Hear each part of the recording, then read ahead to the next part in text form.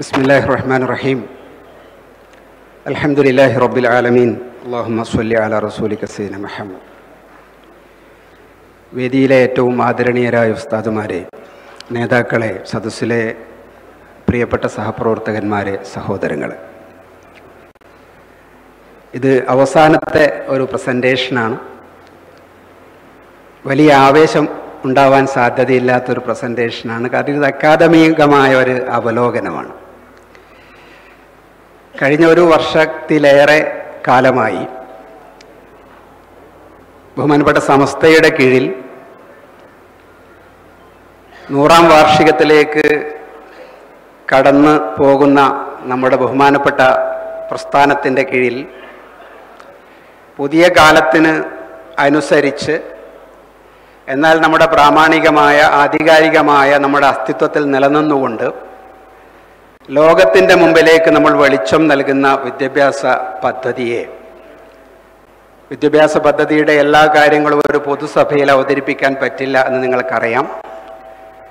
അതിന്റെ ചില നുറുങ്ങുകൾ നിങ്ങളുടെ മുൻപാകെ അവതരിപ്പിക്കുകയാണ്. പത്തു മിനിറ്റിൽ കൂടുതൽ സമയമെടുക്കില്ല എന്ന് ഓർമ്മിപ്പിക്കുകയും ചെയ്യുന്നു. അള്ളാഹു അനുഗ്രഹിക്കട്ടെ.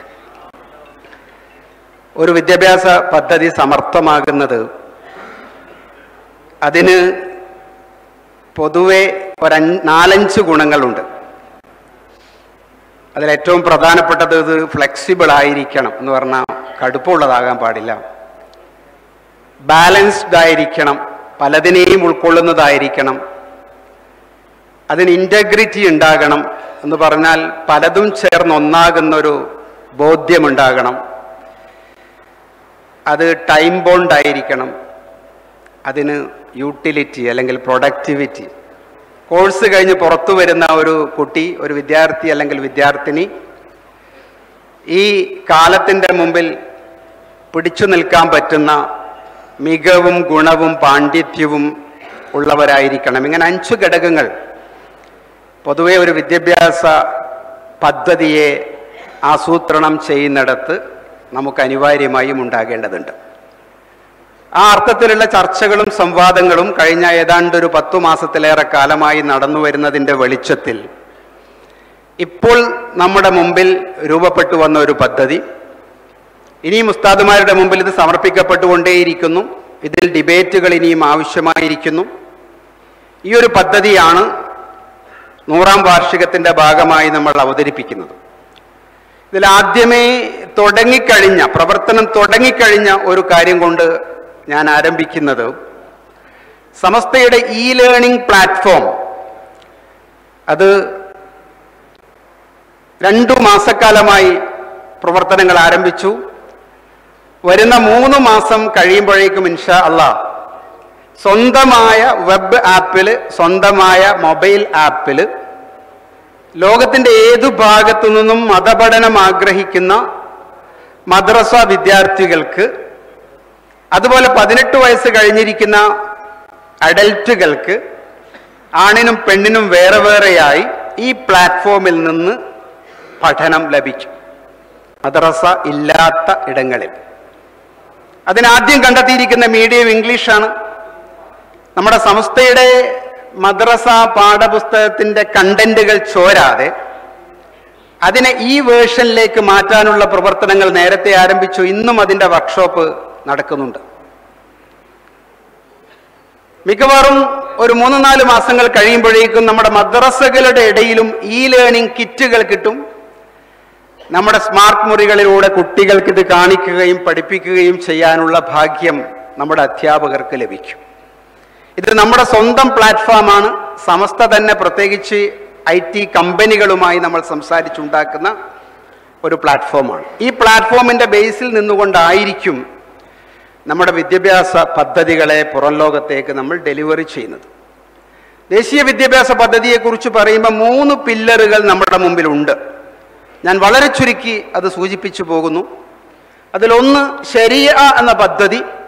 പത്താം ക്ലാസ് കഴിഞ്ഞ് മതമേഖലയിലേക്ക് പഠിക്കാൻ ഉസ്താദുമാരാകാൻ നല്ല ഖത്തീബുമാരാകാൻ നല്ല പ്രഭാഷകരാകാൻ ആഗോള മേഖലയിലെ ദാവാ മേഖലയിലേക്ക് കടന്നു പോകാൻ ആഗ്രഹിക്കുന്ന കുട്ടികളെ അതുമാത്രം പഠിപ്പിക്കുന്ന. എനിക്ക് എല്ലാം പഠിച്ചു എനിക്കൊന്നുമില്ലാതെയായി എന്ന് പറയുന്നതിന്റെ അപ്പുറത്ത് അതുമാത്രം പഠിപ്പിക്കുന്ന ശരി ആ സ്ട്രീം എട്ട് വർഷമാണ്.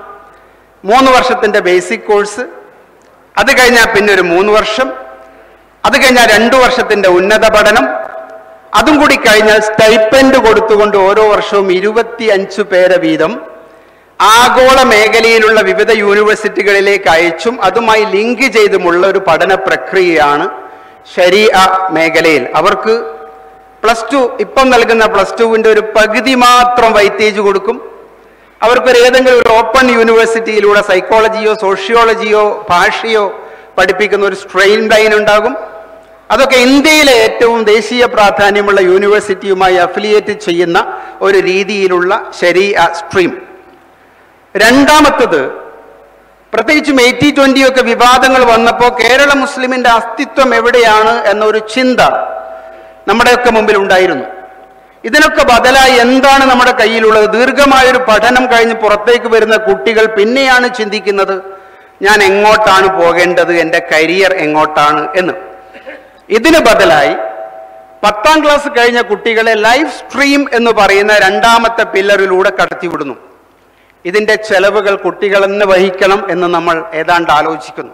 ഒന്നാമത്തെ ശരി ആ സ്ട്രീം സൗജന്യ വിദ്യാഭ്യാസമാണ്. പത്താം ക്ലാസ് കഴിഞ്ഞ ഈ കുട്ടികൾക്ക് മൂന്ന് വർഷത്തെ പ്ലസ് ടു ആണ്. അത് ആക്റ്റീവായി പൊതുപഠനമാണ്. എന്നാൽ മതബോധം ലഭിക്കാൻ അത്യാവശ്യം ഖുർആാനും ഹദീസും ഫിഖും പ്രാക്ടിക്കലായി പഠിക്കാനും ഒരു തർബീയത്തിന്റെ അന്തരീക്ഷമുള്ള ക്യാമ്പസിന്റെ അകത്ത് ഈ കുട്ടികൾ പൊതുമേഖലയെ ലക്ഷ്യമാക്കി പഠിക്കും. മൂന്ന് വർഷം കഴിഞ്ഞാൽ ആ കുട്ടികൾക്ക് എൻട്രൻസ് എക്സിറ്റ് ഉണ്ട് എന്ന് പറഞ്ഞാൽ ഇന്ത്യയിൽ ഇപ്പം പ്രത്യേകിച്ച് സെൻട്രൽ യൂണിവേഴ്സിറ്റികളുടെ പരീക്ഷകളുടെ സമയമാണ് ഒരുപാട് കുട്ടികൾ അപേക്ഷിച്ചുകൊണ്ടിരിക്കുന്നു.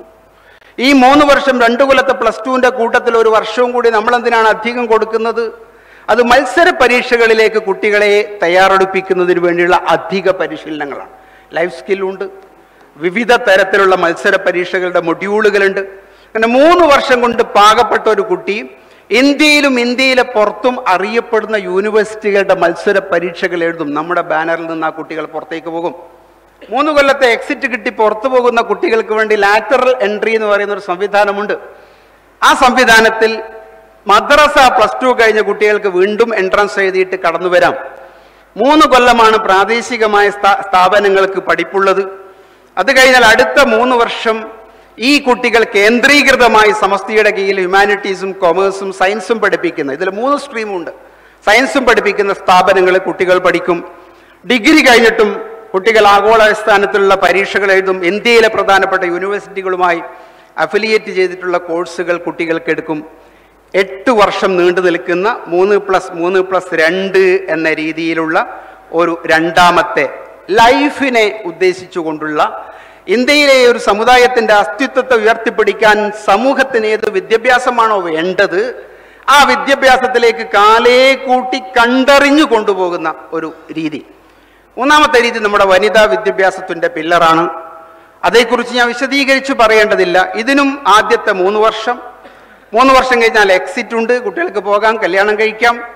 മൂന്ന് വർഷം കഴിഞ്ഞാൽ അവർക്ക് ഇഷ്ടമുള്ള കാരണം വിവാഹം കഴിക്കാൻ പാടില്ല എന്ന് നിർബന്ധിച്ചിട്ടുള്ള ഒരു കോഴ്സ് എനിക്കറിയുന്നത് ഇന്ത്യയിൽ നാഷണൽ ഡിഫൻസ് അക്കാഡമി നടത്തുന്ന സൈനിക ഉദ്യോഗസ്ഥരുടെ മേഖലയിലേക്കുള്ളൊരു അതിന് കാരണം അതിന് അതിനെ പറ്റുള്ളൂ. മൂന്ന് വർഷം കഴിഞ്ഞാൽ അവർക്ക് എക്സിറ്റ് എടുക്കാം. അത് സയൻസ് പഠിച്ച കുട്ടിയാണെങ്കിൽ കുട്ടിയെ നമുക്ക് നഴ്സിംഗിലേക്ക് അയക്കാം. കുട്ടിക്ക് ടീച്ചർ ട്രെയിനിങ് പ്രോഗ്രാമിന് പോകാം. നമ്മുടെ സിസ്റ്റത്തിൽ മൂന്ന് വർഷം കഴിഞ്ഞ് അടുത്ത മൂന്ന് വർഷത്തിലേക്ക് പഠിക്കാൻ പോകുന്നുണ്ടെങ്കിൽ സിസ്റ്റത്തിന്റെ ഭാഗമാകാം. അത് കഴിഞ്ഞ് ഓപ്ഷണലായിട്ട് രണ്ടു വർഷത്തെ പി ജി പഠനവും കൂടി ആവിഷ്കരിക്കുന്ന മൂന്ന് പ്ലസ് മൂന്ന് പ്ലസ് രണ്ട് എന്ന് പറയുന്ന പെൺകുട്ടികളുടെ ഒരു പഠന പദ്ധതി. നിലവിൽ സമസ്തയുടെ കീഴിൽ നിലനിൽക്കുന്ന എല്ലാ കോഴ്സുകളുടെയും സംവിധാനങ്ങളെയും ഇതിന്റെ ഒരു റൂഫിന്റെ കീഴിൽ കൃത്യമായി മോണിറ്റർ ചെയ്ത് ആരെങ്കിലും ഒരു സ്ഥാപനം തുടങ്ങുന്നുണ്ടെങ്കിൽ ഗുണനിലവാരം പരിശോധിച്ച് അതിനെ വ്യവസ്ഥാപിതമായി കൊണ്ടുവരാൻ പറ്റുന്ന ഒരു വിങ് ഇതിന്റെ അഡ്മിനിസ്ട്രേഷൻ ലെവലിൽ നമുക്ക് ഉണ്ടാവുകയും ചെയ്യും. ഇതൊക്കെ സൂചനകൾ മാത്രമാണ് ഇതിന്റെ സംവാദങ്ങൾ ഡിബേറ്റുകളൊക്കെ നടന്നു വരുന്നു ഇൻഷാ അല്ല റമദാൻ കഴിയലോടുകൂടി വളരെ വിപുലമായ ഒരു അക്കാദമിയം പോലുള്ള ഒരു അക്കാദമിക് കോൺഫറൻസിൽ ഇക്കാര്യങ്ങൾ കൃത്യമായി ഡിബേറ്റ് ചെയ്യപ്പെട്ടതിനു ശേഷം ഉസ്താദുമാരുടെ സമ്മതത്തോടുകൂടി നിങ്ങളുടെ മുമ്പിൽ അവതരിപ്പിക്കും. ഒരൊറ്റ കാര്യം കൂടി ഞാൻ ഓർമ്മിപ്പിക്കുന്നു. ഇത്ര വിപുലമായ ഒരു സിസ്റ്റത്തെ കൊണ്ടു നടക്കാനുള്ള ഹ്യൂമൻ റിസോഴ്സ് ഇന്ന് സമസ്തിയുടെ കീഴിൽ ധാരാളമായിട്ടുണ്ട്. നമ്മുടെ റിസോഴ്സുകൾ വളരെ വലുതാണ്. റിസോഴ്സുകൾ എന്ന് പറയുമ്പം എസ് കെ എസ് എസ് എഫിന്റെ കീഴിൽ തന്നെ പത്തൊൻപതോളം ഉപവിങ്ങുകളുണ്ട്. അതിന് ട്രെൻഡിന് മുന്നൂറ്റിൽ ചില്ലാനം ആർപ്പിമാരുണ്ട്. തെതിരീപിന് ഇരുന്നൂറോളം വരുന്ന ആർപ്പിമാരുണ്ട്. സുന്നി മഹൽ ഫെഡറേഷന് ഇരുവിഭാഗങ്ങളായി ഇരുന്നൂറ്റി അമ്പതിലേറെ ആർ പി വിങ് നമ്മുടെ കയ്യിലുണ്ട്. അതിനൊക്കെ പുറമെ മുതരി മുജവ്വിദുമാരുണ്ട് മുഫത്തിഷുമാരുണ്ട് ഒട്ടനവധി റിസോഴ്സ് വിങ് നമ്മുടെ കയ്യിലുണ്ട്. ഈ റിസോഴ്സ് വിങ്ങുകൾക്കൊക്കെ ഒരുമിച്ചു ചേരാനും പരിശീലനങ്ങൾ നേടാനും നമ്മുടെ മഹൽ ശാക്തീകരണത്തെയും സ്ഥാപന ശാക്തീകരണത്തെയും ഒന്നുകൂടി ഒരുമിപ്പിക്കാനും പറ്റുന്ന ഒരു റിസോഴ്സ് ക്യാമ്പ് ക്യാമ്പസ് ഒരു വാലി ഓഫ് എക്സലൻസ് എന്ന വിപുലമായ ഒരു കേന്ദ്രത്തിൽ നിന്നുകൊണ്ടായിരിക്കും ഇൻഷാ അള്ളാ നമ്മുടെ ഈ പദ്ധതികൾ താഴോട്ട് പോകുന്നത്. അതുകൊണ്ട് തന്നെ നൂറാം വാർഷികത്തിന്റെ ഈ വേളയിൽ നമുക്ക് ക്രിയാത്മകമായി ചിന്തിക്കാനും നമ്മുടെ എല്ലാ മേഖലകളെയും ശാസ്ത്രീയമായി ചിട്ടപ്പെടുത്താനുമുള്ള ഒരു വിദ്യാഭ്യാസ പദ്ധതി ദേശീയ അന്തർദേശീയ പ്ലാറ്റ്ഫോമിനെ യോജിപ്പിച്ചുകൊണ്ടാണ് ബഹുമാനപ്പെട്ട സംസ്ഥയുടെ കീഴിൽ ഉണ്ടാകാൻ പോകുന്നത് എന്നുള്ള ഒരു സൂചന മാത്രം ഈ സന്ദർഭത്തിൽ പറഞ്ഞ് ഞങ്ങൾ പൊതുവെ മാനേജ്മെന്റ് തിയറിയിൽ ഒരു ഒരു പദം ഉപയോഗിക്കാറുണ്ട് ത്രട്ട് ഇന്റു ഓപ്പർച്യൂണിറ്റി എന്ന് പറഞ്ഞാൽ ഒരു വെല്ലുവിളി അവസരമാക്കി എങ്ങനെ മാറ്റിയെടുക്കുന്നു എന്നുള്ളത്. ഇവിടെ ഒരു വെല്ലുവിളിയെ എത്ര സമർത്ഥമായി അവസരമാക്കി മാറ്റിയെടുക്കുന്നു എന്നൊരു ചിന്തയാണ് പ്രിയപ്പെട്ട പ്രവർത്തകന്മാരെ നമ്മുടെ മുമ്പിൽ ഉണ്ടാകേണ്ടത് എന്ന് ഓർമ്മിപ്പിച്ച് ഈ ഒരു വേളയിൽ ഇത്തരം ഒരാശയം ഇതിന്റെ കൂടെ നിൽക്കുന്ന ഒരാൾ എന്നുള്ള നിലയ്ക്ക് അവതരിപ്പിക്കാൻ സാധിച്ചതിന്റെ സന്തോഷം ഇവിടെ രേഖപ്പെടുത്തി എന്റെ വാക്കുകൾ അവസാനിപ്പിക്കുന്നു. ആഹ്റുദാന